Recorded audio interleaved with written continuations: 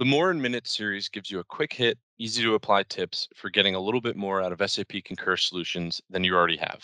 So you can bring more control over spending, more value back to the business, more time in your day.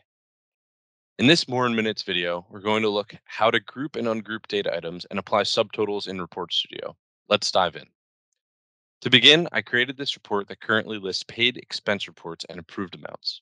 To make it more visually appealing or to help with quick analysis, I'll add grouping and subtotals by employee and payment type. Right now it's in page design, but today we will be viewing the report in page preview. To start, select the column you wish to group. If you would like to select more than one, you can hold down the control key on your keyboard and select multiple data items. I will select employee and payment type in this case.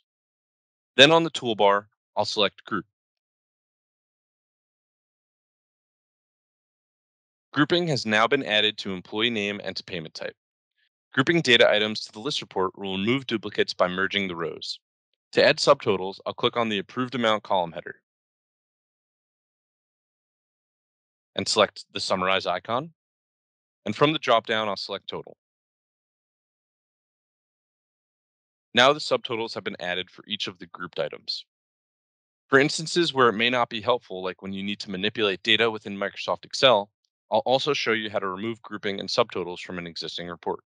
I'll select the group data item by clicking on the column header. Holding down the control key again on my keyboard, I'm going to select the remaining grouped items, which in this case are the employee name and the payment type.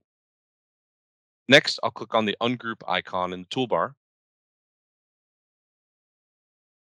Now all groupings and the associated subtotals have been removed. Thank you for watching this More in Minutes video on grouping and subtotals.